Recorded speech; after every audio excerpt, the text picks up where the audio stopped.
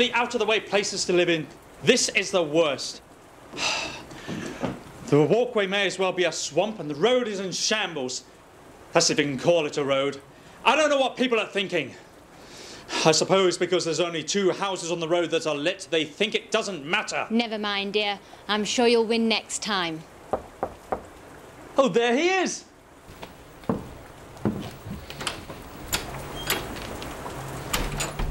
Sergeant Major Morris. Hello. Mrs. White? Oh, Master White. Please have a seat by the fire. Warm yourself. May I offer you a drink? You're too kind. Whiskey, if you have it. My father tells us you've travelled nearly the entire globe. Where is it you come from? India. Well, I'd quite like to go to India myself one of these days, just to look around a bit. Better off where you are. Oh, I think it'd be fun to see those old temples and fakirs and jugglers. What was that you were telling me the other day? Something about a monkey's paw? Oh, it's nothing. Well, at least nothing worth hearing. Monkey's paw? Just a bit of what some would call magic. Nothing, really. Well, do you have it with you here today? May we see it?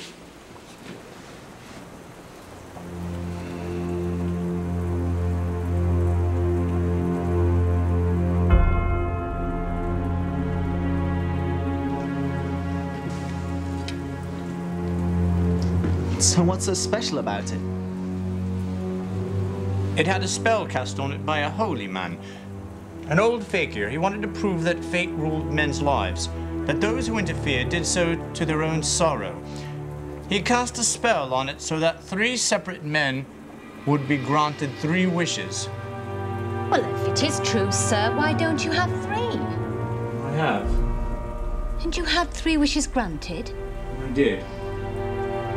So has anyone else wished? Yes. The gentleman before me, I don't know of the first two wishes, but I know of his third, just how I came by the paw. Well, what was his last wish? Death. Well, if you've had your three wishes, Morris, it's no good to you now. Why do you keep it? I'm not sure. A reminder, perhaps? If you could have another three wishes, would you? I don't know.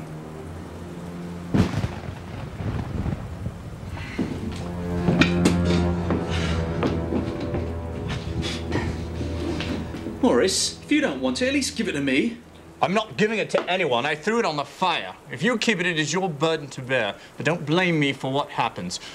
I warn you, if I were you, I would throw it back on the fire. How do you do it? You hold it in your right hand and you wish aloud. But I warn you, Sounds like something off Arabian Nights. Well, I ought to get dinner started. Would the sergeant join us for dinner? Thank you, but no, I must be leaving. I merely stopped by to say hello. A monkey's paw that grants wishes. Should wish for an extra pair of hands for me with all the housework. If you wish for something, wish for something sensible.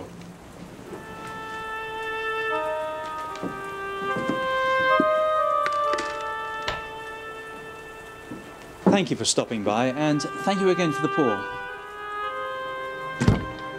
Don't mask your greed with pleasantries. It is offensive. You got what you wanted, but I warn you, be careful.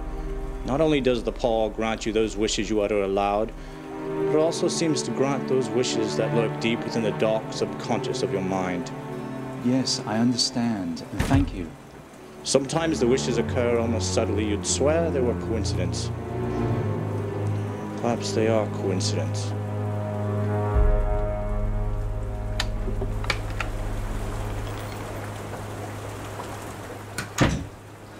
Did you give him anything for it? No, no. But he pressed me again to throw it away. Hardly. We're gonna be rich and famous. And I could quit work at the factory. And have our job just like you, father. Watch what you say.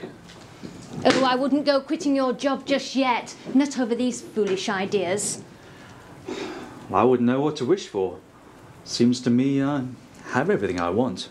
Well, if you had enough money to pay off the house, that would make you happy, wouldn't it? Hmm.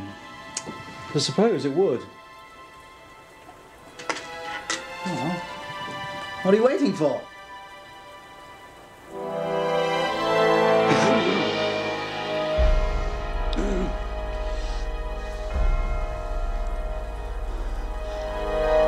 I wish for two hundred pounds. Ah, It moved. It twisted in my hand like a snake. Well, I don't see the money. It must have been your imagination, dear.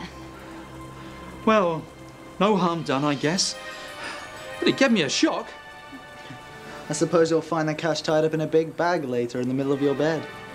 And something horrible squatting on top of the wardrobe as you pocket your ill-gotten gains. I suppose all old soldiers are the same, and we listen to such nonsense. Imagine wishes being granted in these days. And if they could, how could a few hundred pounds hurt you anyway? Could fall on his head from the sky.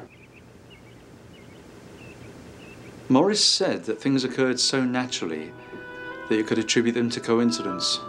Maybe that's because they are coincidence. You know, I could swear it moved in my hand. I swear it. You thought it did. There's no thought about it. It did.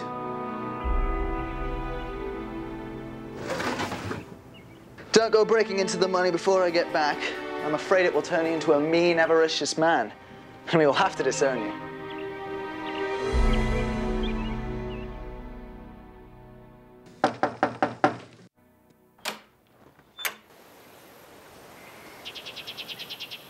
I was asked to call. I come from Maw and Meggins. Is anything the matter? Has anything happened to our son? What is it? Calm down now. Let's not jump to any conclusions. You've not brought us any bad news, have you, sir? I'm sorry. Is he hurt? Badly, but uh, not in any pain. Oh, thank God. Thank God for that. Uh, no, you, you, you see, he was caught in the machinery. The, the firm wished to extend their deepest condolences for your tragic loss. I, I beg you understand, I'm, I'm just their servant. I'm merely obeying orders. I, I, I was to say that Maw and Meggins uh, disclaim any responsibility. They admit no liability.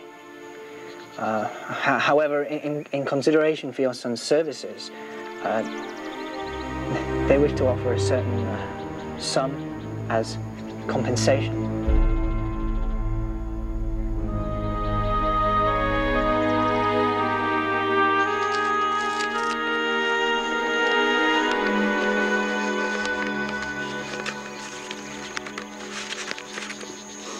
Much is it?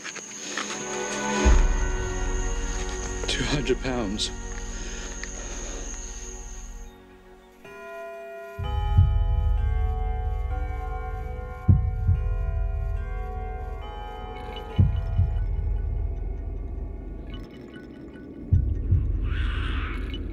It had a spell it a holy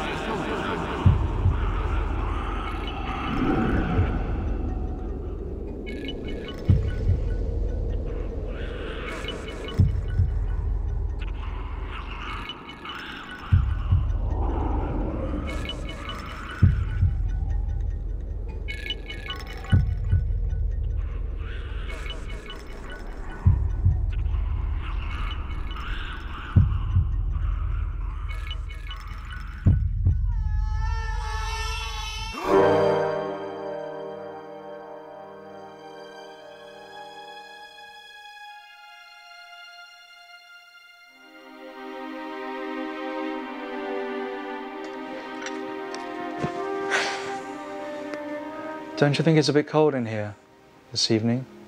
It's colder for him.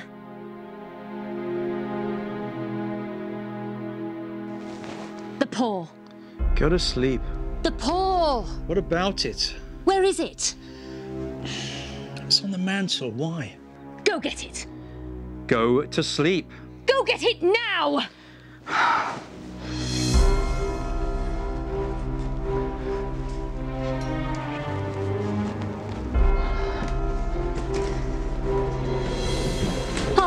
wish was granted. We can wish him back. We can have our son back. It was only coincidence. Get it and wish. It was only coincidence. Wish.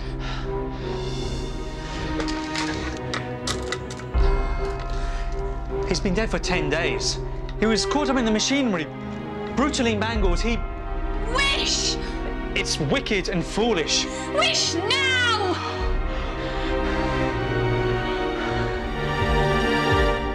Wish our son alive again.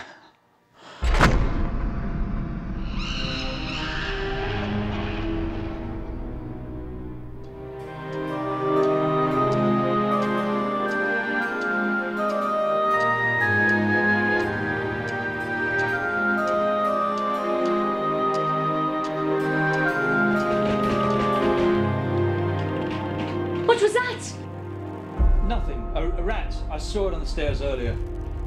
My son. The cemetery. Of course, it's a mile away. It makes perfect sense. For God's sake, don't let it in! It. It is your